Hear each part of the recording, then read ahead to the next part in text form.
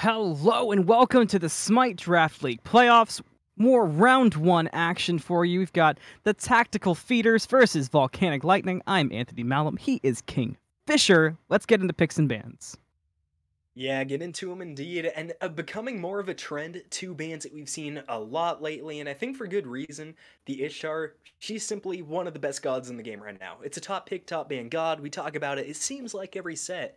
On the flip side, Susano and Lancelot, also two insanely popular junglers right now.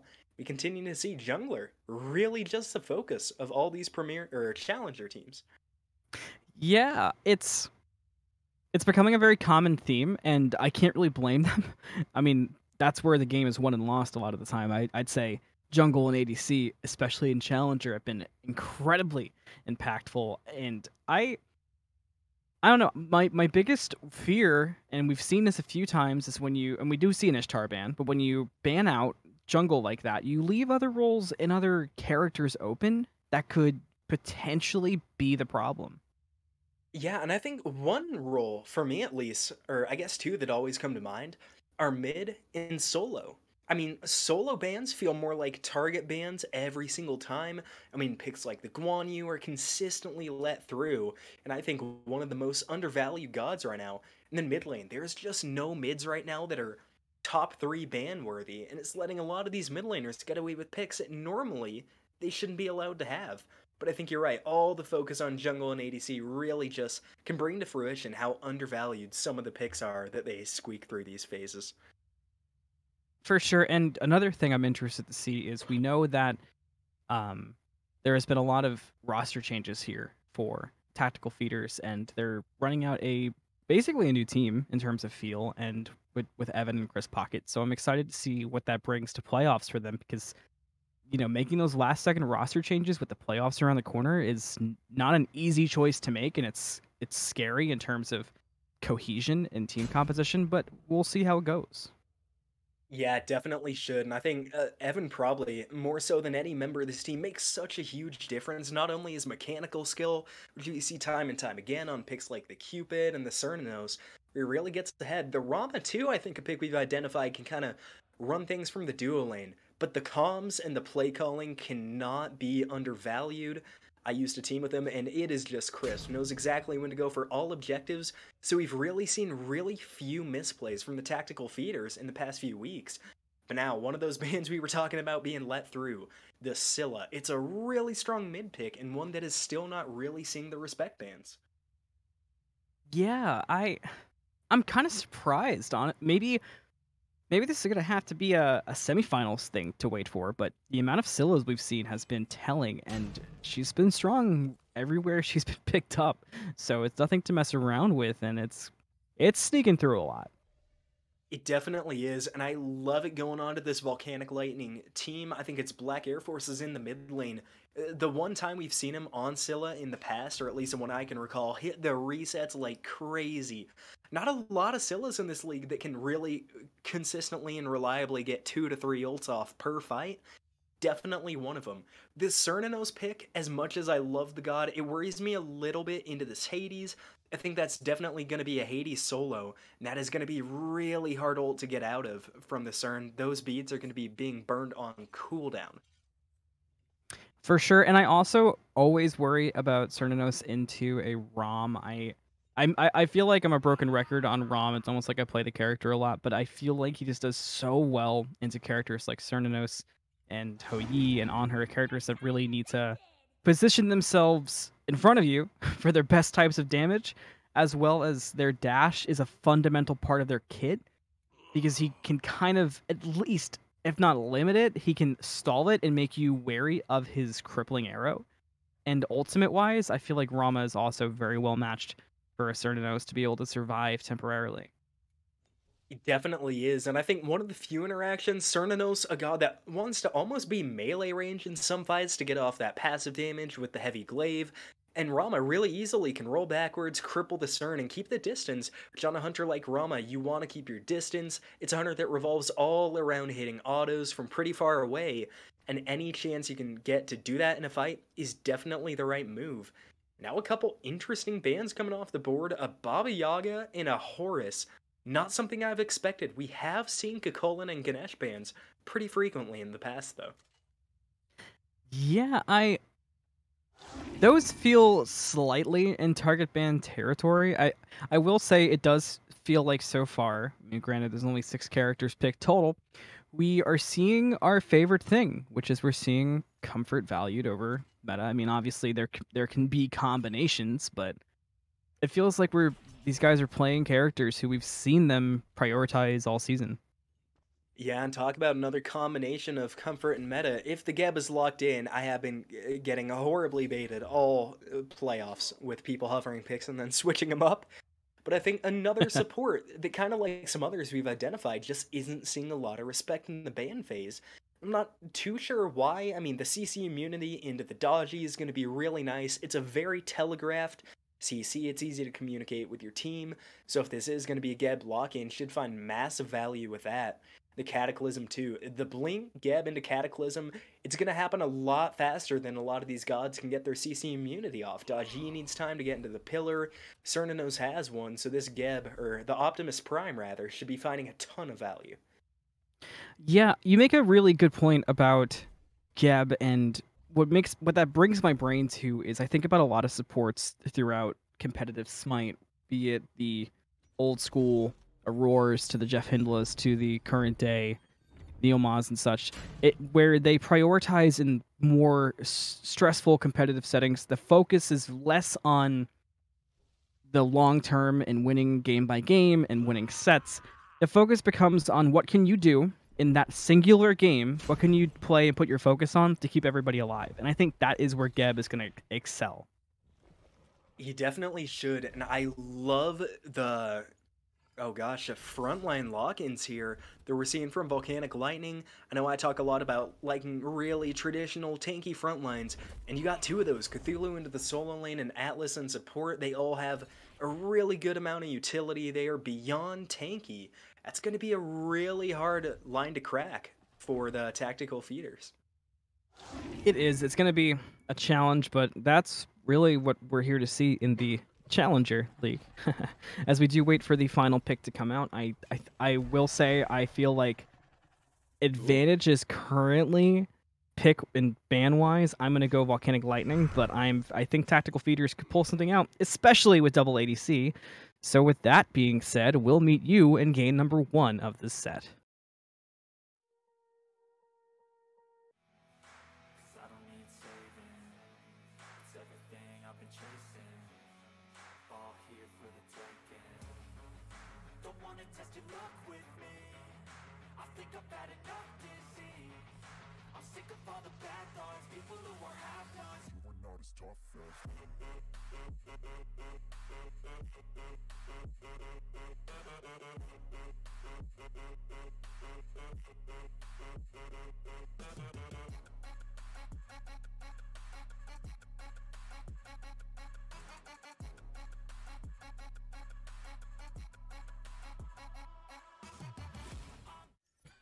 We've got more playoff action. We have Volcanic Lightning in blue, and Tactical Feeders is sporting the red trunks. I'm Anthony Malum. He's King Fisher. Let's do it.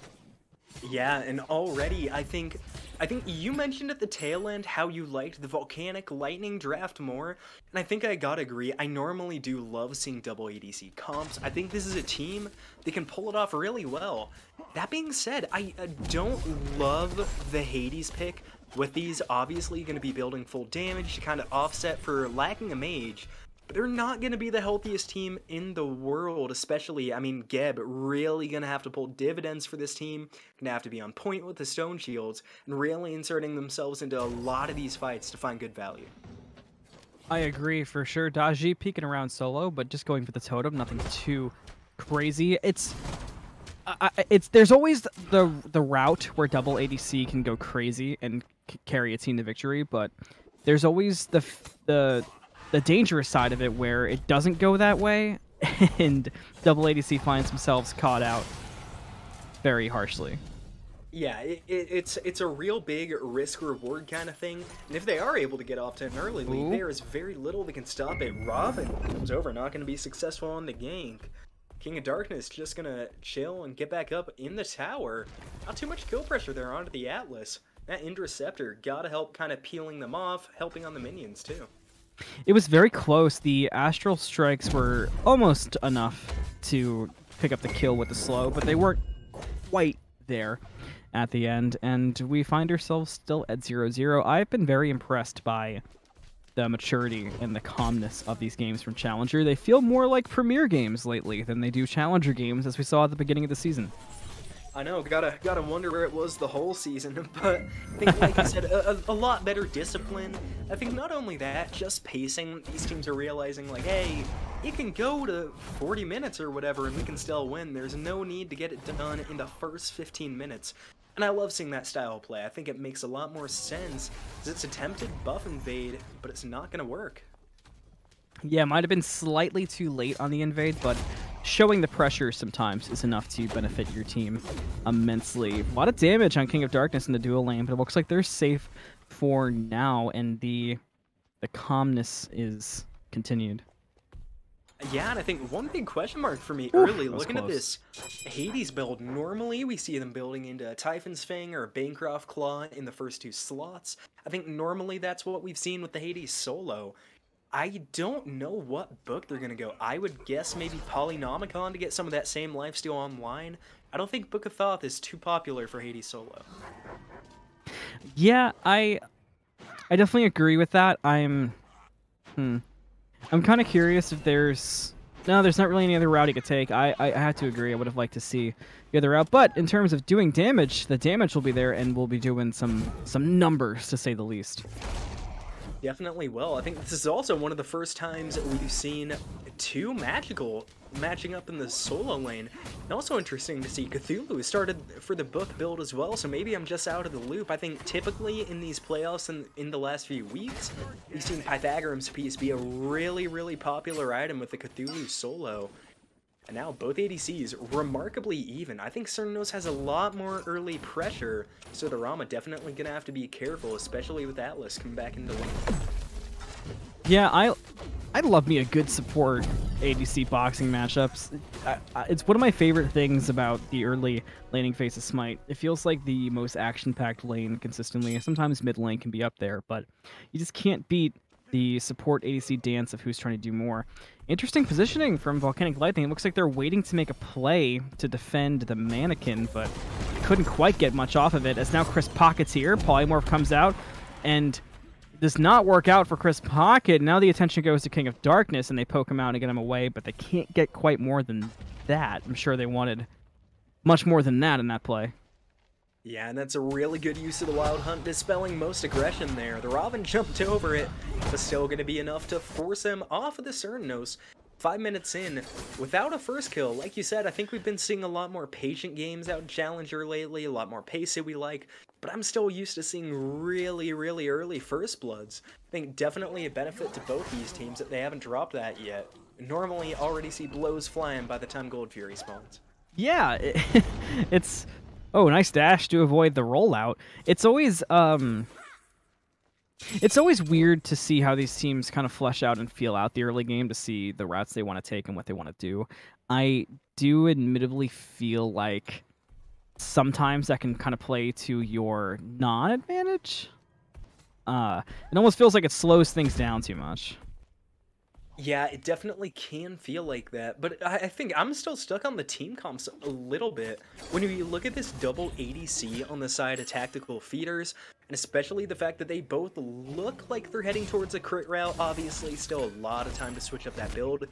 Do you like seeing the double ADC in this meta? I know it used to be really popular when the build was kind of the pen and ability-based hunters, that's where we saw a lot of double ADC comps. Do you like it as much in the crit meta, or are you not a fan?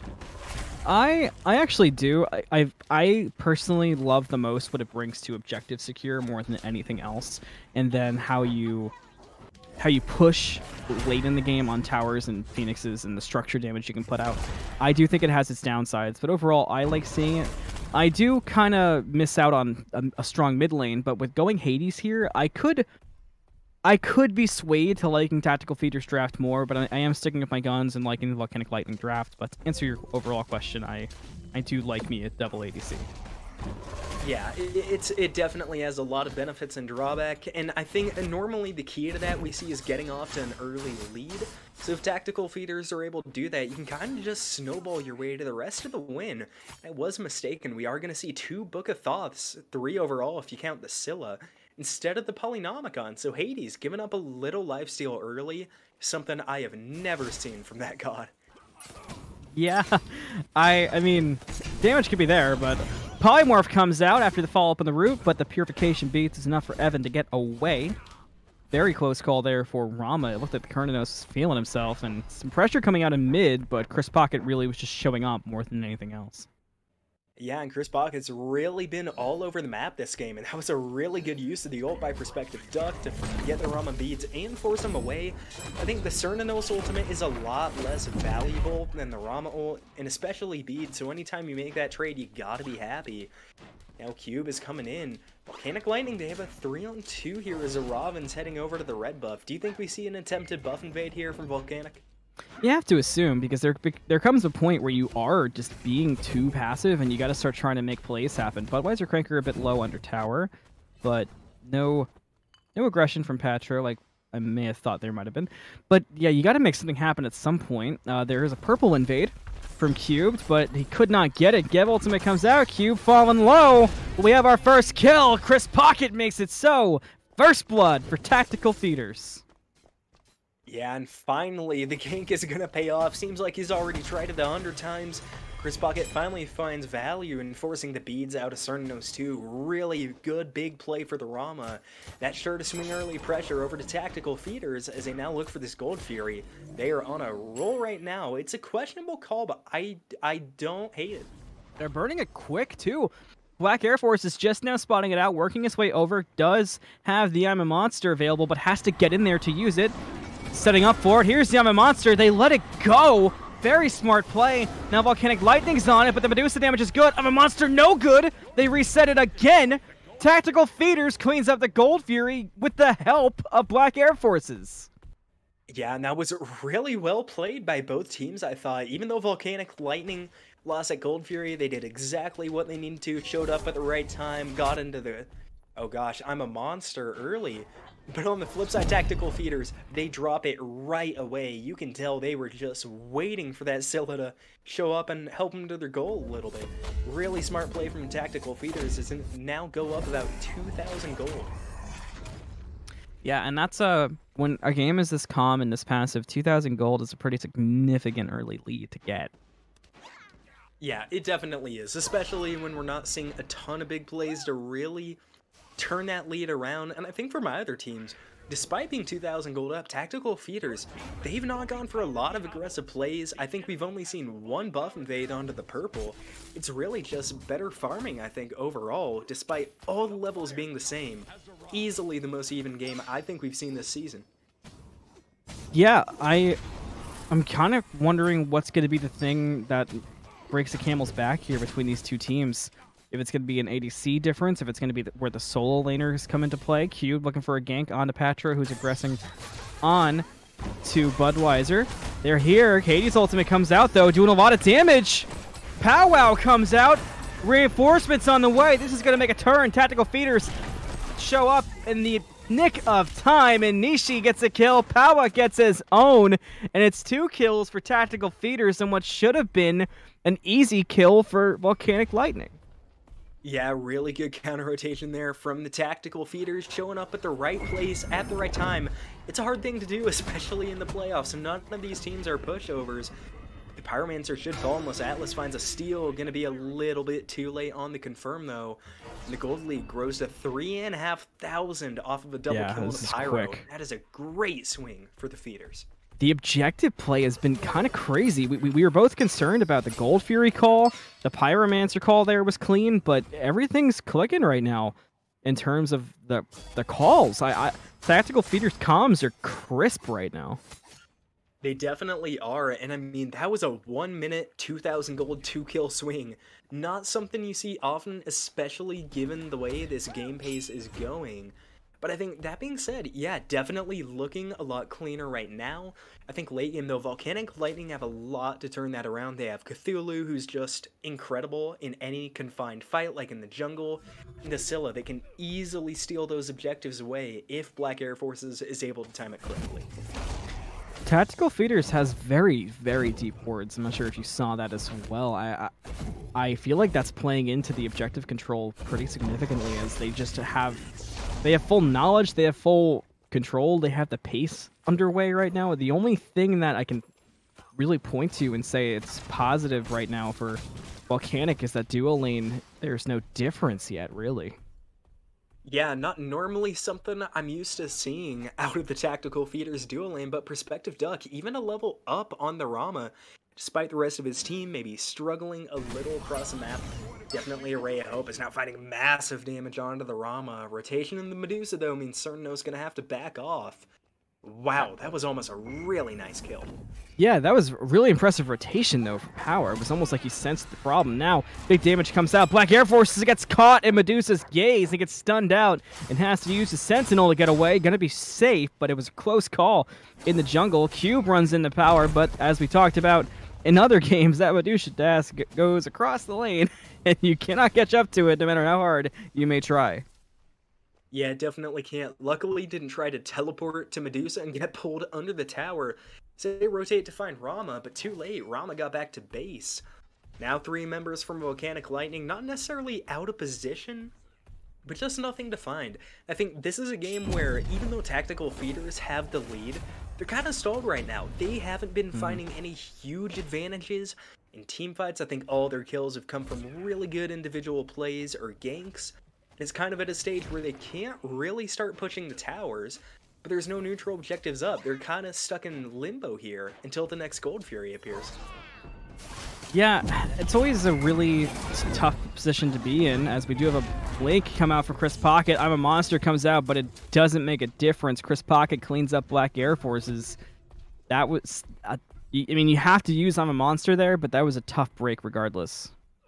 Yeah, and especially going down just right before the Gold Fury shows up. We saw Tactical Feeders get aggressive with it last time, they're going to do the same, and especially with that Scylla being down, I think this is a good call. They're going to burn it quick, and it's only a Primal Fury. If you lose it, it's not the end of the world, and you can turn around and team fight. Chris Pocket dropping low in the back. Flanking from Budweiser, Descent comes out, Tactical Feeders cleans up the Primal Fury. Now Budweiser Cranker finds himself a little bit too out in front and has to back up, and nobody will go in behind him, probably the best call. And that's a free Fury, but as you said, Primal is not the end of the world, certainly. Definitely not. And I like seeing the discipline there from tactical feeders. I think most teams, both Premier and Challenger, they get that Fury kill and they just feel great. They feel aggressive. I think smart not pushing Volcanic Lightning back into their jungle. I mean, they probably would have won the fight. I don't think any of would have any of them would have died, but without minions being close, really no benefit they could have found off it. So now they get to go back, get their buffs, and maybe set themselves up for a good pitch in a minute here. And I'd expect them to be on that Pyro again. They've been really smart with objectives this game. With how they've been with objectives, with how they've been with map control, the ward coverage, the gold lead, I think the key right now for tactical feeders is keep your foot pressed down on the gas pedal and the key for Volcanic might start to become find some way to slow things down and get some control back. Yeah, definitely. Tactical feeders are playing this at their pace right now. Volcanic Lightning can't keep letting them do that. I think it, the game might be deceptive for them. They probably don't feel like they're far behind, but 5,000 gold at 15 minutes, that's a pretty big amount. They're definitely, I think, maybe not map control-wise, but definitely gold-wise, they are behind in this game. It's going to be a hard one to turn around if tactical feeders keep playing the way they are. Yeah, I have to agree. We do see Chris Pocket a bit deep in the jungle looking to see who they can find. They find King of Darkness. Big damage coming out quickly. King of Darkness falling fast. There's Medusa ult just to make sure they secure it. It's a killing spree for Chris Pocket. And a tough break there for Volcanic Lightning. Now down 0-5. Looking to make a play happen was cued, but he fell low. Now Budweiser Crankers in Descent into Madness and very caught out. Chris Pocket runs him down and cleans up the kill on the Cthulhu. Now 6 nothing in favor of the feeders. And now they're pulling Pyro They cannot be slowed down right now. They can. That was unfortunate for Volcanic Lightning. You gotta think that is a really big miscommunication there. I like the aggression from Budweiser going in there. They're all like about half health. I don't think it's a bad move at all. But Oh. Cthulhu can Evan find the snipes? No, he Nope. Just out of range. Tough break for Evan, but that will give him some time in duo. And now with the re-engage coming from Perspective Duck, you would think, yeah, Evan's gonna be more than safe as Cube walked over one of those deep wards we've been really hammering on this game, and those wards for, for tactical feeders are kind of being the backbone of the whole operation. Yep, and ladies and gentlemen, if you did not know, that's why you ward. I hate doing it in casual, but this ain't casual, it's playoffs. Time to get serious. But I think going back to my last point, I think, like I said, I like the aggression from Budweiser. I don't think it was a bad engage, but the entire team backed off. You have to be on the same page to make those calls. Perspective Duck now in more trouble than he realizes. Now gonna see the Geb and knows he needs to get out of there. Did some good damage to Evan, but now turns to the camp, which will leave him open to the gank from Nishi. Beads come out, not going to make much of a difference.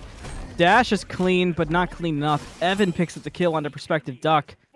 Just unfortunate positioning from Perspective Duck, and going for the camp there kind of sealed the deal. Yeah, I was. I mean, I don't mind going for the camp. Like, hey, get a little bit of extra XP. I mean, he, he, he was dead there either way. Yeah. You're not gonna take the Rom out when Geb has a stone Might have looked for up. life steal. Yeah, and, and I think I'm not a big fan of using the beads there. Granted, though, Rama was very low. He was pretty close to killing Evan. But at the end of the day, the Cernos is going to fall, and no rotation from Volcanic Lightning means their tier 2 falls, and Patroclus with the solo kill. I guess that's why Hades builds full damage. I am shocked, but level 18 to level 15, going that full damage build with the Polynomicon, it's I, I see how it happened, and wow. Yeah, gotta point out, he did build the Polynomicon eventually, so I'm not completely wrong. Going into a pretty big book build here.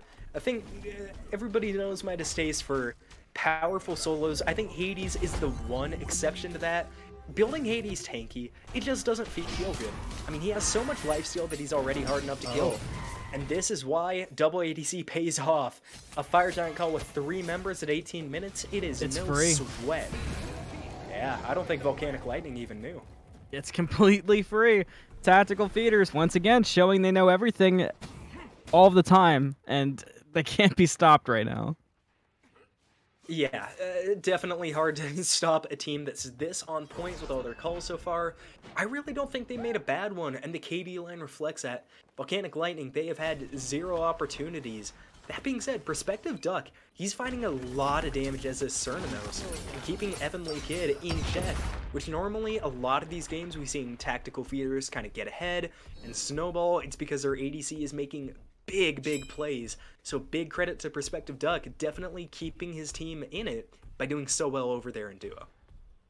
Well, King Lightning playing very far back, basically conceding their towers with the gain of the Fire Giant for feeders, which having to concede your towers when the highest level in your team is level 17, and that's a significant lead, is never a good feeling and a very bad spot to be in. Yeah, I think all the XP lead is over to tactical feeders. That being said, though, I think the later this game goes, a two level advantage isn't going to be as impactful as it would on some other far. picks. He is very far. But I think Cthulhu and Daji still do pretty well when they're under leveled. So they definitely still got a chance, and now they're finally going to show face on a tier 2. I like this call. I think they could have done it sooner, though. I don't think tactical feeders are going to be too mad if they can't break this big link from Rob. Big blink from Chris Pocket in the back. Air Forces fell low. He's down. King of Darkness is going to fall to Patro. Rama Ultimate came out, put some damage on Cubed. He has to back up. Now Budweiser's in deep. Descent into Madness does no good. It's a double kill for Chris Pocket. Good news is Perspective Duck cleaned the support camp and is now backing for the Phoenix defense. But Tactical Feeders is running it down. They're at the Phoenix now, and both surviving members of Volcanic Lightning can just sit back and watch. Oh, I if this Are- is the end call. They're going for the end call. As Fish just said, it's gutsy, but they're going for it. They blow up Cubed, and it looks like it's going to be easy sailing from here on out. It's going to come down to Perspective Duck, King of Darkness, and Black Air Forces, and Titan is already down to half health. Make it a quarter. It's gone. It's a victory for Tactical Feeders. Speed running game number one of this playoffs round. And I love that end call. I feel like all season long, there have been long games where we've uh, just been sitting here talking about, well, they maybe could have ended there. I thought they had a really good opportunity. It doesn't get much better than that. Two players alive, a full five, and a minion wave. They get a great end call and steamroll through that game one. And I know we talked about going into this game all the roster changes, worrying about chemistry and finding their identity certainly did not have a problem with it last game, and that is a dominant win for Tactical Feeders. That was and that was incredible to watch. And if you look at their stat line, it's everybody played incredibly similar between wards, damage, structures, everything was crazy. Look at the double ADCs, almost thirteen thousand fire damage between two of them. It's a fantastic showing. It's a really tough break for Volcanic Lightning because almost what could you do in that situation? I mean, it, that's such a hard ask to play around what they were facing that time. It was it was tough. Yeah, it was, and I think that last fight kind of encapsulates that victory for Tactical Feeders perfectly. I mean, all their engages, whether it be on towers, whether it be on objectives, the ganks, I mean, the timing was so great. They all waited for Chris Pocket to find that big blink in the back, and then at the same time, everybody rushed forward. And unfortunately for Volcanic Lightning, as soon as they got that Fire Giant, they just did not stand a chance anymore. The objective play and the strategy around the map won that game for the Tactical Feeders. Well, with that, we're going to leave you here at game number one. And going into game number two, the big question is what can Volcanic Lightning do to slow down tactical feeders? We'll be right back on the Smite Draft League with game number two of this playoff round one set.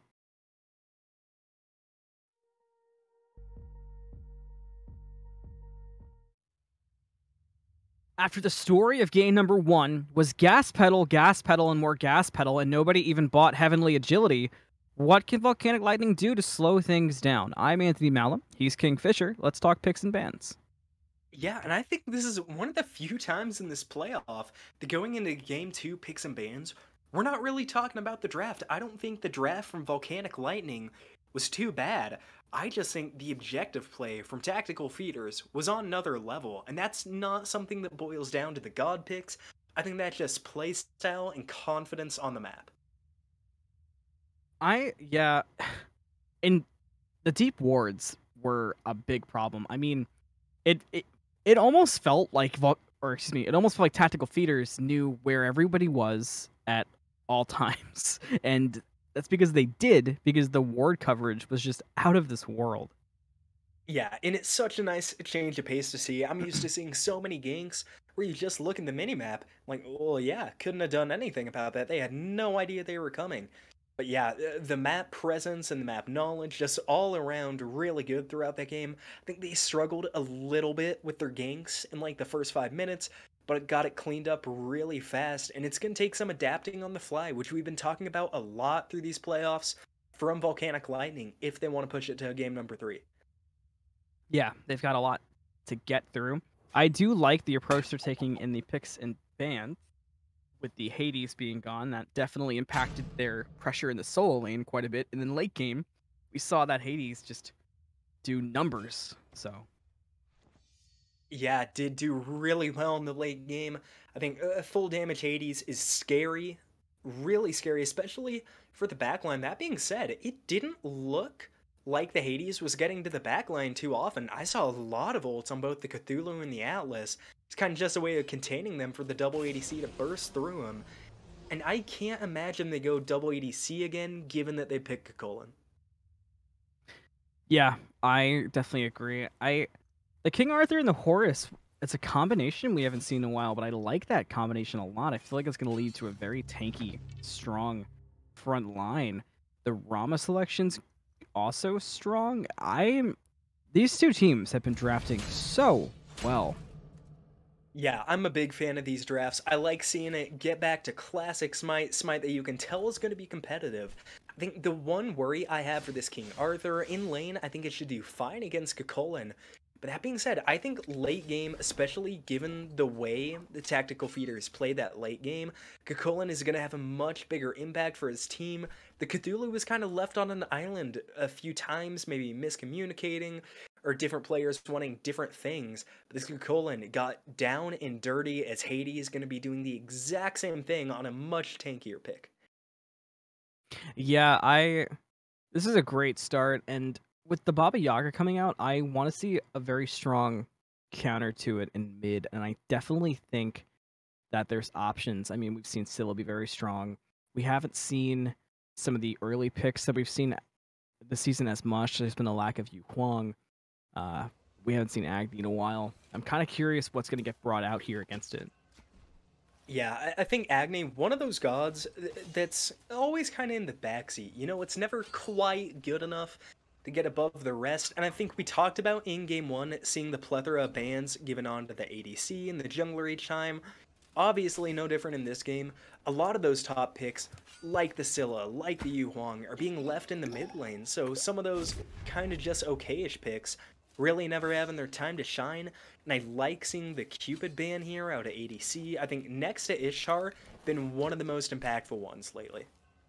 Yeah, I think it's been Rom Ishtar and Cupid just kind of running our SDL version of the meta. From time to time, we've seen Hou Yi be strong. We've seen a few Heimdallrs, but and obviously we've seen a few Cernunnoses. But I think the the problem child has definitely been Cupid overall. Definitely has, and I do like seeing the CERN band too. I thought Perspective Duck did really well. Granted, I think late game slipped up a little definitely should have been at that tier 2 fight instead of clearing camp. But regardless, stayed at least on level or ahead pretty much the entire game with the Rama, so definitely no qualms about that ban. And the Robin lock-in, I think smart taking it away from Chris Pocket. That last fight in particular looked absolutely unstoppable, and just kind of shaking up the team comps, always a good move. Yeah, I Robin has been a character that has shown up so strongly in the, what feels like just the last few weeks. We've seen him picked up all season, but in terms of performance, I think the last couple weeks has really shown out and been a difference maker. And like you said, taking it away from Chris Pocket, I mean, that that blink in the back was ultimately the game-changing decision and and play from game number one. Yeah, it was. And definitely Robin, not really a pick I expected to be kind of the premier jungle we've seen so far in round one of these playoffs. I think a, lot of other picks, though, I mean, we talk about jungle bans. Let's count up how many. There's four there from the Chaos team and another two. I mean, yeah, six of the ten bans go into one role. You're gonna see some picks like the Robin, who normally aren't at the top, start to really shine through. I would love it if they lock in the Scylla. I think I I love Scylla. I've said that a lot on this desk. Offers so much to the team in every aspect of the game. And combine that with the Hun Batz, you are setting up for some easy ultimates. Yeah, I I'm excited to see these teams. We haven't seen an Artemis in so long either. I don't think we should wait anymore. I don't know about you, Fish, but I'm ready for game number two. So with that, we'll see you in game number two, and we'll be right back on Smite Draft League.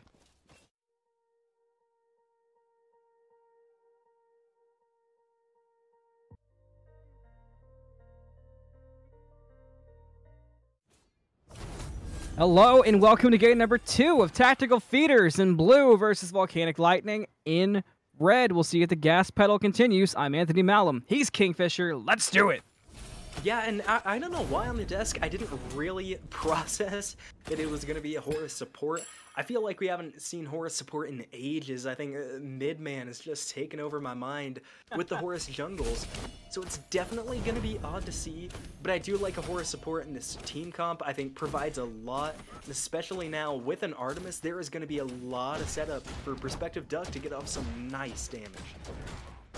Yeah, I think this is a great team comp to set up the Artemis. That might actually be what they're banking on is trying to get that Artemis to late game because I, I mean Baba Yaga clearly and obviously does a lot of damage, but in terms of having a hyper carry, if nobody gets ahead, they gotta really lean on the Artemis. So I expect that to be the priority.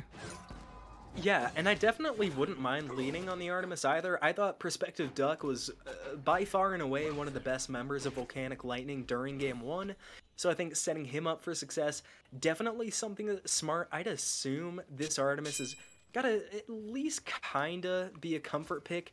Not normally one of the top ADCs we see, can definitely still do really good, and the Calydonian Boar, I think, is one of the greatest ultimates in the game, so definitely gonna be looking for some big combos with that ult. Yeah, I agree. I think it's gonna be probably their their big game changer. Getting a little low as Patro has to play it a bit safe, but the uh, Cullen versus the King Arthur is a classic matchup. Budweiser looks for some aggression, but with the spin to win, he can go right back to lane and take it easy. Cube looking for an early gank, but Evan and Nishi spotted out and were plenty safe. Yeah, luckily be in Patrick finding good damage onto the King Arthur, and this is a lot more even of a fight than I thought it to be. I thought King Arthur would kind of just be bowling out here, but the tier 1 round shield is definitely giving that uh, a little bit of an edge early. I'd be excited to see how aggressive Chris Pocket is going to be this game. We saw on the Ravana a lot of early rotations, a lot of early blinks and, oh gosh, blanking on the name, roots and cripples into the enemy team. And it's kind of hard to get that same level of engagement on Hun Batz. Yeah, I definitely agree with you. I I mean, we t- we t- we've really beat the dead horse about that tactical feeders just really had the, the map control was a difference maker, but I I think the only way that they can get around losing out map control, losing out pressure, could be to make some early aggressive plays and simply get kills. I, I really think that's the only. If you if you can't beat them in map control, if you can't beat them in pressure, you, you got to beat them there, and that's that's I think one of the three ways for Volcanic to win this game. Yeah, and it's going to be interesting to see what path they take because I think we talked about a lot in game one. It felt really evil even when it wasn't. And given that and just how kind of quickly the game seemed to like slip and slide away, it's going to be tough for them to identify what exactly they need to change and what has to happen during this game two for them to see the game three. And yeah, I don't know where we're going to see that first off, whether it's going to be more ganks, if we're going to see heavier warding, more pressure on objectives. I think only time will tell. I agree. I certainly agree. Very calm start once again, as good news that minion died to Sic 'Em. Always got to worry about that last minion. But with the passive start, last time we saw that that passive start led to the all the, the big momentum shift in the favor of feeders. They were able to go from the passive start to just taking control. So I wonder if we're going to see more of the same, or if, like I said, Volcanic Lightning will try to turn it around and maybe make some plays to take their own pace into control. Three in mid already, King of Darkness here. Uh, Khepri kind of rolling up slightly late, but won't be much of a problem. And yeah, things are just kind of calm all around. Yeah, and I think having the Khepri in tandem with this uh, Hun Batz is actually going to be pretty good for tactical feeders. I think, like I already talked about earlier, Chris Pocket, he got really involved, and Hun Batz is a lot less safe god from Raven. But with the Scarab's Blessing, can really get in there and get aggressive, go for buff invades, ganks, whatever it may be. Calydonian Boar finds a good stun. This is the arrows, though. Heavenly Kid doesn't have to use anything. Still has the advantage did a lot of damage in response, which is going to cause Perspective Duck to back. We'll have to see if that turns into a purple invade, as there's nobody over on that side of the map. Not a lot of wards, though, to guarantee safety, and there is a deep Volcanic Lightning ward, so we'll have to see what comes from that. Looks like he's just going to back, and once again, we're back to even Stevens all the way across. Yeah, I'm a, a, little bit conflicted there. I would have liked to see a purple invade just to kind of punish that back from Perspective Duck, but I think the the Horus and the Baba Yaga being at those mid camps, they definitely could have been over there to contest.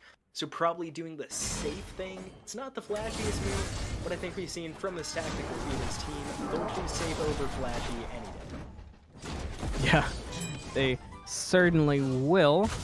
It does look like Horus is showing up, but they're going to go for the Scepter, which means it'll be a tough contest for Evan. Hun Batz's making his way over, but nothing they can fully commit to. I'd be surprised to see it, but does look like Chris Pocket's going to go for it. Jumps in on Perspective Duck. Fear no Evil comes out, gets the beads. King of Darkness ults, but it's just more for safety than anything else as he's out of mana, and not much comes with the Fear No Evil. Yeah, not really. I'm, I'm not a big fan of using that Fear No Evil right there specifically. I mean, I do love forcing out the Artemis beads because I think Evan can get that Artemis to ult pretty easily if he just shows some pressure. He's going to be left defenseless in these fights. Having the Fear No Evil on something like the Gold Fury here would be so valuable. We saw last game, Tactical Feeders took the Gold Fury early, and it's pretty much the same game state being dead even, so I wouldn't be surprised to see them get aggressive onto those objectives early. It'd be really nice to have the totem for that. Yeah, and you know what we haven't talked about in in talking about game number one is the mental for volcanic lightning. There, it's gonna be very easy. They we haven't even addressed it, but they didn't get a kill in the first game, so it would be very easy for your mental to kind of get destroyed from that. But they've got to be able to pick it up uh, stuck in the trap is Evan, and surprise, surprise, here's Cube and the Robin, but the Rama ultimate comes out at a good time, could be enough to get away, gonna commit for the kill, but will lead to a death, and there it is. It's a first blood and first kill in this set for Volcanic Lightning. Yeah, and that's a really good kill by Volcanic Lightning. I like the thought of the Rama to try and get the kill, but really smart from Perspective Duck to just kind of run away from that one. Let the Robin finish it up. Rama, no chance of escaping. And there, despite having all those boards set up around the le left side of the map, just couldn't back off in time. Yeah, and I was going on a tangent about the mental for Volcanic Lightning, and getting the first blood and having that kill over with, it's off their mind. Great for them. Could be huge for Mental. Could be another kill to add on to it. Budweiser commits for it and finds it. Gets the kill. Now the great escape begins. Nishi's here. Chris Pocket's here. Budweiser turns, gets some damage on Chris Pocket, which was a very smart move because that bought time for King of Darkness to get here, and that gives Budweiser his lane to escape. Normally, going in would lead to your death, but that was a really smart maneuver there by Budweiser. Yeah, and there's that patented King Arthur just kind of spin to win, kill everybody, and don't die. Really good en engage there by Budweiser Cranker. Almost got a second one as well. Would have been huge for the King Arthur. And I think, I mean, mental shouldn't be too much more in question for Volcanic Lightning after those series of kills, and really good ones. I think luckily, in game one, they didn't do a whole ton wrong, so hopefully aren't weren't too down and out on themselves. But definitely getting some kills after that first game has to feel good no matter how optimistic you are. Yeah, for sure. And now we see a gank from Cubed onto Patro, keeping the pressure up. It might not result in a kill, but keeping Patro pressured out on that Cullen could be the difference maker for Volcanic Lightning. Pull in from Nishi on Black Air Forces that requires Baba Yaga to use purification beads. And that's going to be a big advantage for Scylla, as Sic 'Em certainly does not have a uh, a cooldown anywhere near Purification Beads. Yeah, definitely not. Not not very close either. So I mean, even in a few seconds here, are going to be back up. But I think also that King Arthur getting the early lead, even though levels have pulled even. Oh, big abilities expended. Black Air Forces Falls had its great coordination from Chris Pocket and Powa. Hun Batz came all the way from behind Volcanic Lightning Wards, not close enough that time. Yeah, and we talked about it. The beads were gone, and it left the door open for Fear No Evil, and they took advantage of it. I'm curious if we're going to see a bit of a play here from either the feeders or the lightning. We saw a lot of early objectives. Hold that thought. Boar from Perspective Duck running it down, looking for the kill on Evan. Came from the side. Not enough damage there to fully commit. But aggressive play to get the Rama out of lane regardless. Yeah, good job by the Rama not using beads, not using ult, not panicking. Can be easy when you see that boar, but hangs on him, so should have an advantage against the Artemis, at least kind of fighting when the Artemis gets back to lane. But yeah, I think I was a little surprised that Black Air Forces didn't use the ult when he got ganked by the Hun Batz. Because, I mean, obviously CC immunity, damage mitigation. I think looking back at it, though, kind of smart because ultimately Powa and Chris probably would have gotten that kill. Now, more importantly, Baba has her ultimate for this next team fight, which should be around an objective pretty soon, I would imagine.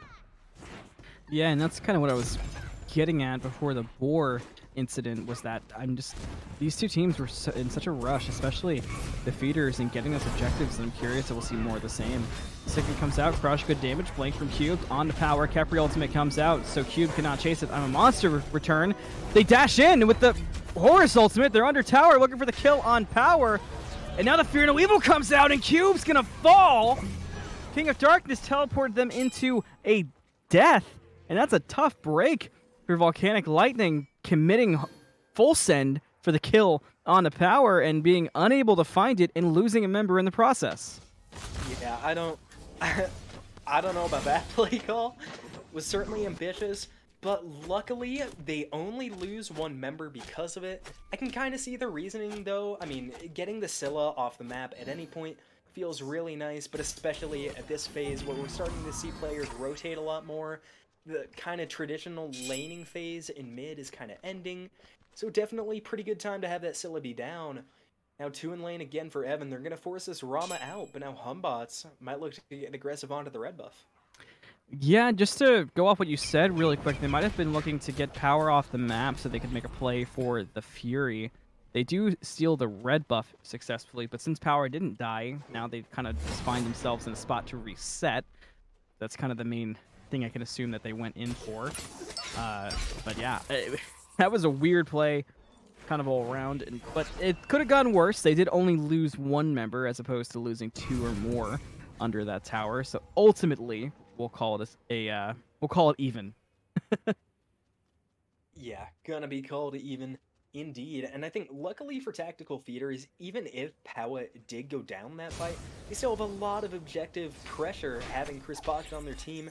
The Fear No Evil, I think I haven't really seen Hun Batz use it effectively to zone and secure objectives in a long time. It is an incredibly effective tool, and something else just entered my mind. This is a double book build really early on for the Scylla. This is not a build I'm used to in mid. I kind of like the build. Yeah, I I think it's going to lead to a lot of early damage. I mean, I do like going poly more so in that fifth slot, maybe fourth if if I want to go early, but for how we've seen this fight playing out and how early game 1 went and the way that the feeders played it, it could I wouldn't even be surprised if they went it for objective secure or structure damage, honestly.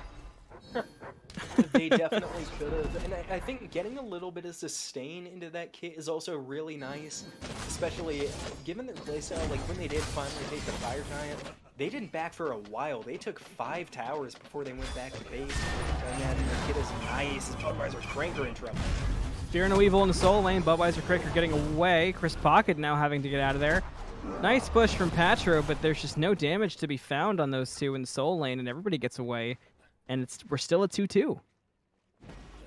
Yeah, we are. Patrick was not building into any damage yet. Maybe see it later in the build, but Glad Shield alone really isn't enough to dissuade those players. It's not going to be anything really ventured or game, but getting the Great Scorpion, this is a, I mean, game one was already pretty slow paced. Uh, I guess maybe not slow paced. This is even slower paced. Yeah, 100%. I I thought for a second we might get more given how quick things were, were going in the start, but it, it slowed down to an even calmer pace than game number one. It almost leaves us with little to talk about. Pyromancer getting pulled and looked at by just King of Darkness, though, so no full commit. I'm definitely surprised we haven't seen more Gold Fury fights at this point, because we're almost to a point of the game where I'd like to see them start pivoting those fights if they haven't done them already because there just has been no attention to it. Yeah, and I think especially for tactical feeders, given how gung-ho they were on them in the first game, I like their team comp so much more than Volcanic Lightning's on these objectives that I would really like to see them kind of start getting onto those. Because last game, if you recall, it was a lot like this. It was really even until a lot of those objectives started falling Tactical Feeder's way. That's going to be the go button for them again this game, I feel. And finally some attention with Khepri and Hun Batz coming over. Honestly, you have a Scylla with I'm Monster, I would just straight up start the Gold Fury. Yeah, I agree, and looks like they're going to get some aggression on the Perspective Duck. Four comes out, a lot of damage on Evan. Fear no evil. Now the damage goes on Perspective Duck, but Chris Pocket got stunned, and now he gets trapped, and now he gets killed! Chris Pocket with the unluckiest series of events I have seen a Hun Batz go through. Big two-man Sic 'Em, not too much damage from the crush. I'm a monster used, but there's nobody there for the damage. It does hit Black Air Forces, but doesn't do too much damage. But now there's no I'm a monster for a potential Gold Fury fight, which is not what you want if you're a member of the Tactical Feeders. Crush comes out, which is still good. Secure, Gold Fury getting pulled down to half, looking to take advantage of no I'm a monster. Patro setting up with Nishi. In from Patro. Everybody's healthy. House, house, house doing good damage. Budweiser Cranker around the side. Rama Ultimate in the air finds nobody home and no damage to speak of, but Gold Fury is let go. So ultimately, a nice defense from Tactical Feeders, at least being able to stop a Gold Fury attempt. Yeah, I kind of would have liked to see Volcanic Lightning follow that one through. I mean, granted, that was going to be a toss-up. That was 50-50 at best. But I mean, the Rama wasn't in the skies yet. The Scylla was still dead. It's going to be the most quality chance you have in a decent amount of time to really lock down that objective. That being said, though, that went disastrous for tactical feeders on that gank.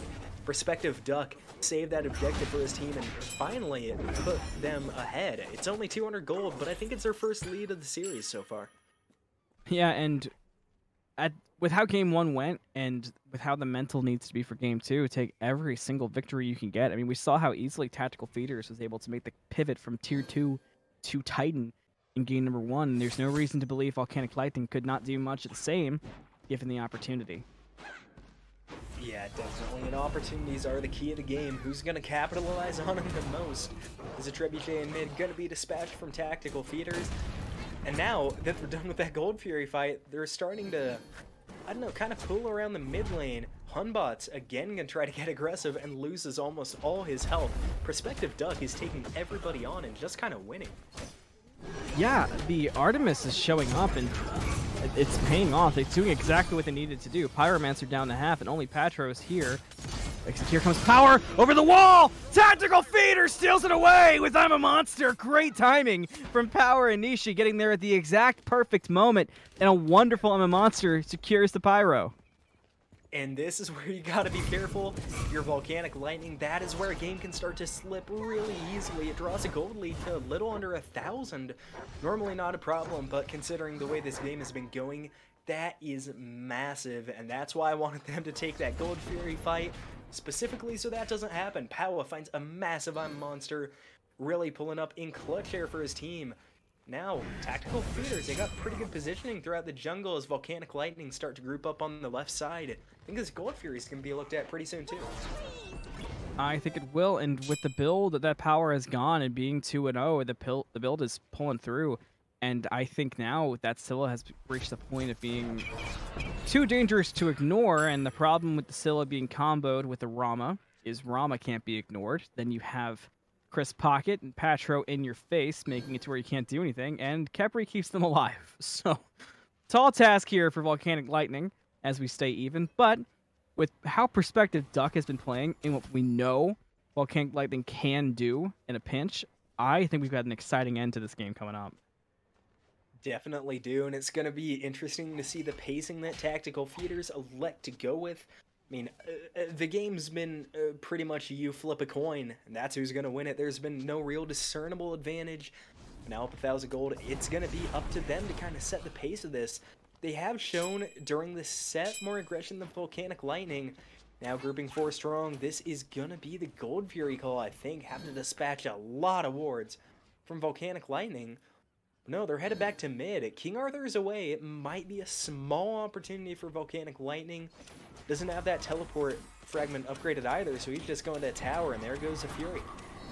Yeah, the, the wards were almost a Gold Fury of their own. Blink from Cube, outside of the Crush. Powa taking a lot of damage, has to back away. Gold Fury dropped. Still kind of held by Nishi. I'm a Monster comes out. Who can it find? There's no opening. Some slight damage on King of Darkness. Not too much damage from the Rama ultimate to speak of, and King Lightning stepping back, trying to get away. Cubed is back. Nishi is still here and low. But it looks like they're going to pull the Gold Fury. I'm a Monster is down, so that's a lack of secure, but Crush can be its own secure. Chris Pocket brings with him Budweiser Cranker. They let go of Gold Fury. There's the Boar bouncing around to everybody. Evan doing some good damage in the back. Crush comes out. Now Perspective Duck is too low to commit. Patro got the Khepri ultimate, but did not die. So no heal there, enough to get away. And this Gold Fury stalled out once again. It's really just Powa and Evan hanging on. Chris Pocket cannot fight, and Nishi's going to go ahead and back. So after quite the skirmish, there was nothing out of that Gold Fury. Yeah, and this is the time of game last game where they were knocking on the doors to the Phoenixes. Some drastic change from tactical feeders. And I think, again, just like the first Gold Fury fight, I don't like that they dropped that. I think it still would have been toss-up, but still the Scylla Crush at that point. I think going for the Gold Fury first, getting that objective on off the map, and then focusing on the fight, the disengage after, might have been the play, and they're going to try it again. Only two members here. This time, I don't think there's any scenario where they drop it. They're just going to turn and burn this goal. Agreed. I'm a monster's back up as well, so there's the secure, but it wasn't in time. Volcanic Lightning gets the steal, the Gold Fury, even with I'm a monster up, as they were able to get some burst damage in the last 500 health that made the difference. Yeah, I don't think Powa was really ready for the Gold Fury to fall that fast. I guess a crit from Rama really making a difference. As now they rotate over towards the Fire Giant. And I like seeing them just go from objective to objective. I think it's the right play. But they definitely need to look for a pick here before they can go on to a big objective like that. Agreed. There might have been a small opportunity had they had Evan with them because the Artemis and the Horus were both a duo, but the opportunity really just did not present itself. Khepri went for a steal on the Scorpion, but it was no good. I always respect that, and things are pretty much calm again. A tier 1 tower does fall in left lane, but aside from that, nothing too crazy. We thought for a second we'd see a fire pole, but like you said, this wasn't quite there. Yeah, definitely not. They're going to need to do something more than just kind of group up to go for that fire. With all Volcanic Lightning backing, they look like they're going to head towards this Fire Giant together. Tactical Feeder's heading towards mid. I think Volcanic Lightning are going to see an opportunity here, but I think same boat as Feeders, they need to wait before they do something here, even though they got more pressure on the OBJ right now. I agree. I think there's a chance that they could be getting faded out. Pyromancer getting pulled, and if you look, like everybody on feeders is hanging out around the side. There is an I'm a Monster, but they let go of Pyro wisely, so I'm a Monster finds nobody and no objective, and Pyromancer is easily secured by Volcanic Lightning. Powa takes some good damage, and everybody splits off, and it looks like we're about to start our Fire Giant dances. Yeah, and I like that call from Volcanic Lightning a lot better. They drop it at the right time to avoid the Scylla. I mean, granted, they did kind of kite it into the Scylla, but that's neither here nor there. And now they even this gold lead back up, or I guess, oh wow, they take a much larger lead since securing that objective. Is now they're 3,000 ahead. It's a really good lead for Volcanic Lightning, but I think it's still not to the point where they can kind of just outright do this Fire Giant. Tactical feeders, and I think their ultimates in particular, have a lot bigger impact than anybody on Volcanic Lightning. Yeah, I, I, I completely agree with you. I, I, I said it before, there might be the start of a Fire Giant dance, but I almost wonder if these teams are a bit beyond that, and they might look to make plays beyond the Fire Giant to try to see what they can open up for themselves, as opposed to just dancing around, because I think these guys are just a bit smarter than that. Yeah, uh, definitely are, and I think, uh, I mean, sometimes Fire Giant not even necessary. King of Darkness getting bursted down here, and the forest might be off the map.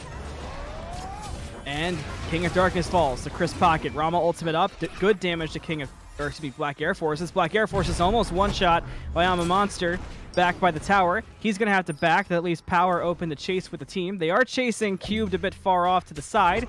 On the other side of the map, it looks like Patro has pushed away perspective. Cube is going to fall. The question is when. The slam brings it home.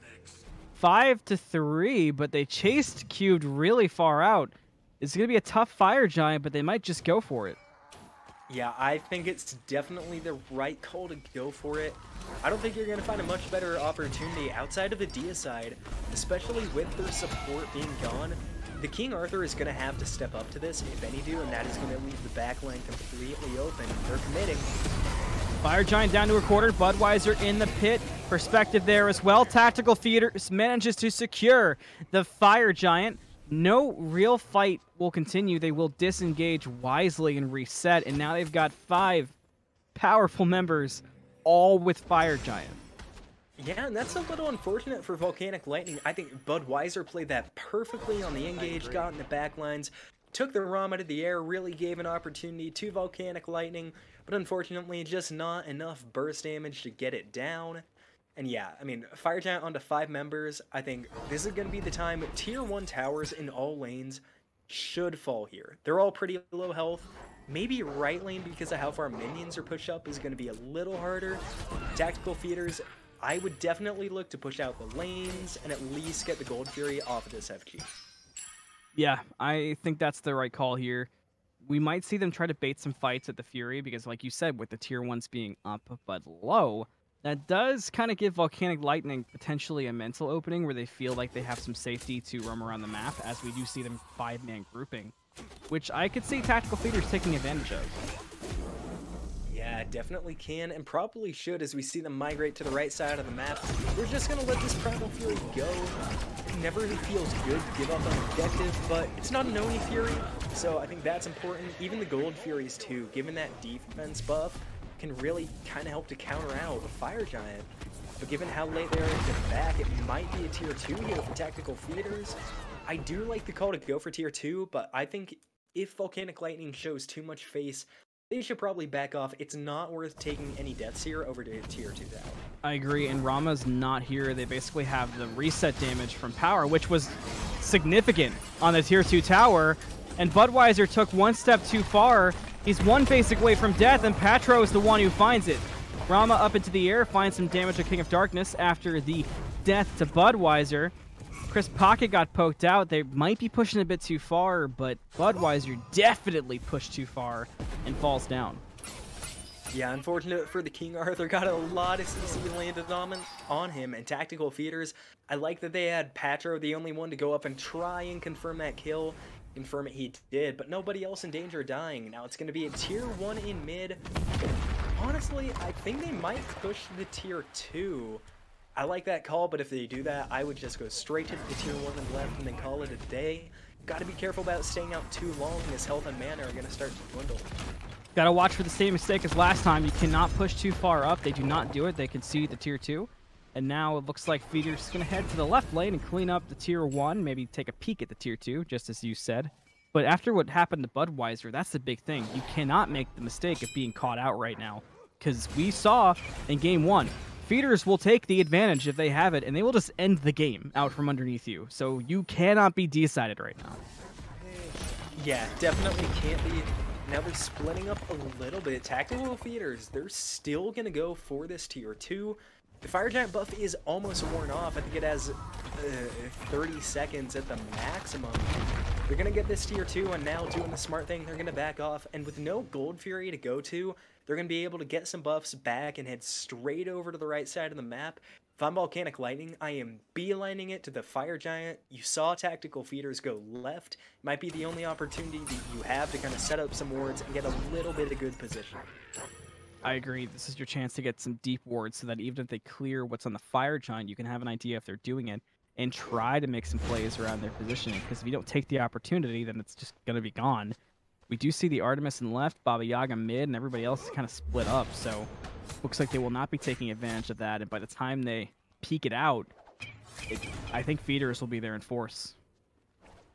Yeah, uh, definitely should be in force, and now we do see Chris Pocket and Patro heading over to the pit. I guess Chris is backing, but the presence of the Coquelin should be enough to dissuade Volcanic Lightning, and it definitely should be. Patro has only fallen once this game, and I think it was pretty early on, and he's building full defense. This Coquelin is tanky.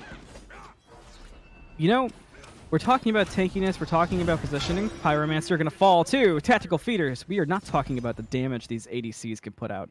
Perspective Duck and Evan have the potential to kill everybody on either side in less than 15 autos, no matter how tanky you are.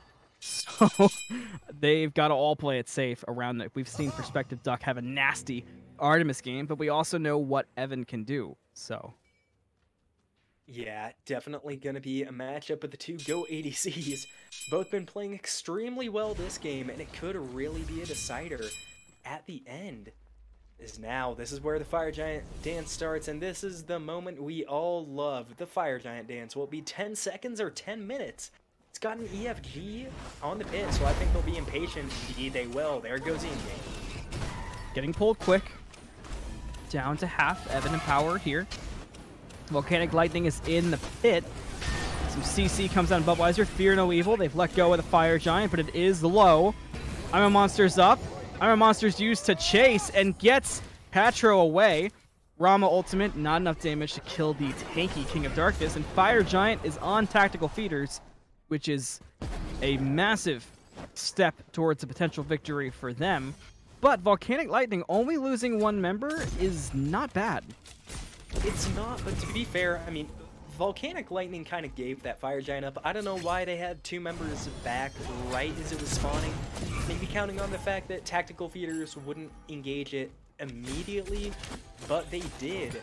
Now they're going to push out these left two lanes of minions, I would assume. And they're going straight for the Phoenix. I don't think they're going to stop at this Gold Fury. Uh, it's spawning now, so they might. Yeah, may as well on the way, you know.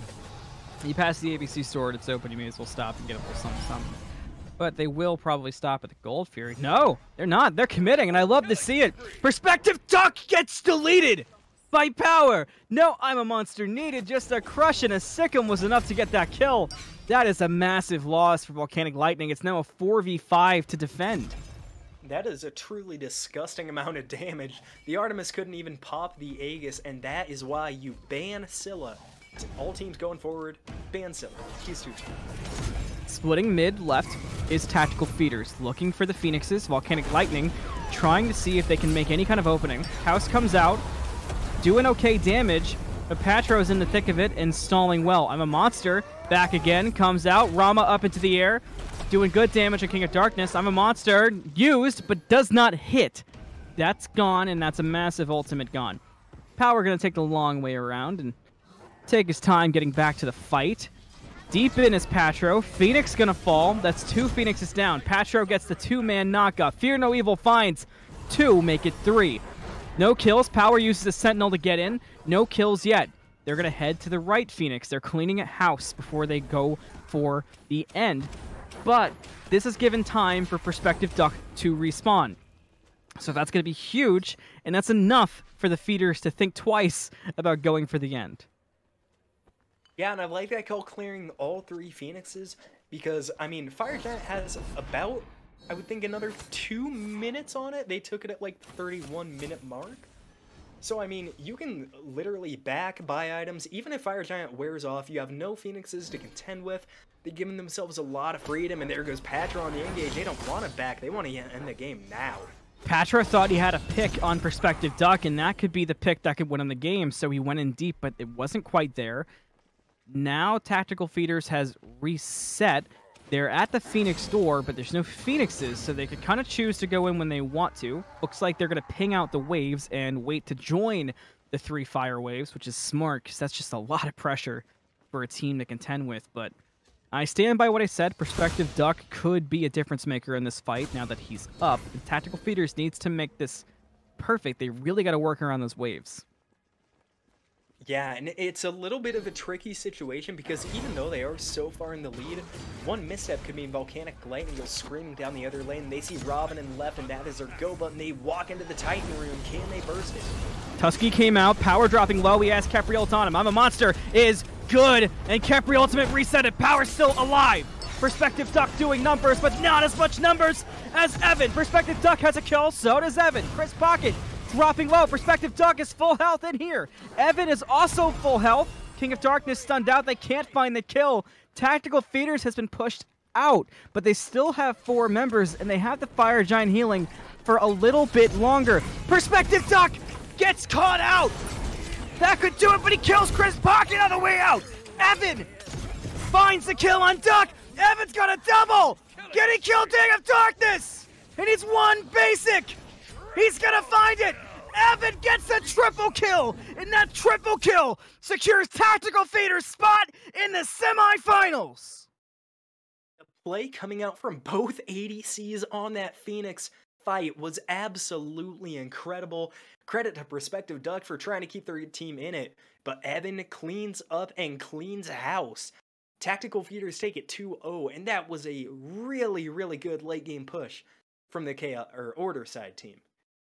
Uh, yeah, I agree. I perspective duck gave it everything in that last defense, and the player damage speaks volumes of how effective it was, and it was close, but ultimately, tactical feeders was just a machine in that set, and they were just unstoppable.